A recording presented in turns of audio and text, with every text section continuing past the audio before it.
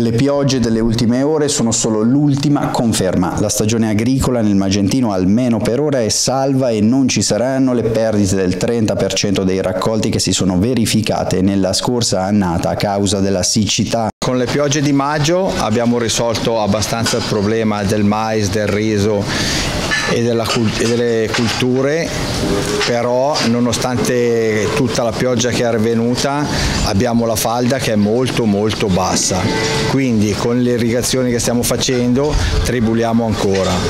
Ci vorrà ancora tutta la stagione per riportare la falda all'altezza normale. Per ovviare a una nuova annata siccitosa nel Magentino si era seminato meno riso e sono state privilegiate colture che necessitano di meno acqua. Quest'anno appunto abbiamo cambiato un po', un po di colture, non, non, solo mais e fieno, ma abbiamo coltivato anche eh, l'avena, il sorgo, eh, la biada, un po' di colture insomma che hanno bisogno meno acqua, come il frumento. Il frumento ha bisogno di pochissima acqua, appunto perché ci hanno, ci hanno spaventato diciamo, questa, questa primavera nel primo trimestre dell'anno, ci avevano dato l'allerta appunto di, di, una grossa siccità che per fortuna per il momento non è, non è arrivata. Coltiviamo comunque mais perché appunto avendo gli animali, avendo appunto le mucche, per forza dobbiamo, dobbiamo coltivarlo e appunto questo, questo mais ci serve per,